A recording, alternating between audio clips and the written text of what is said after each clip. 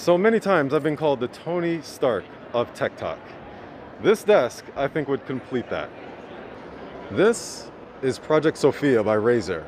Fully modular desk so that you can actually do almost anything that you want.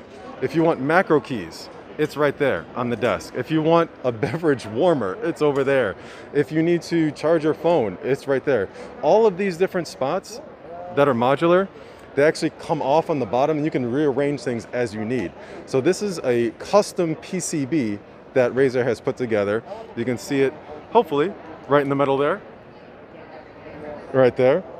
And it's upgradable as well. You can add more storage. You can basically do anything you want with this. And it's thin. Look at that. With peripherals right there.